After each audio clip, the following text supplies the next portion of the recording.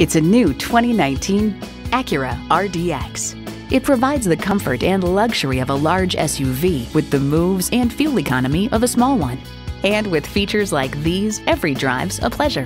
Bluetooth streaming audio, doors and push-button start proximity key, dual zone climate control, auto dimming rear view mirror, Wi-Fi hotspot, front heated bucket seats, turbo inline four-cylinder engine, first and second row express open and close sliding and tilting sunroof, gas pressurized shocks, and power with tilt down heated mirrors.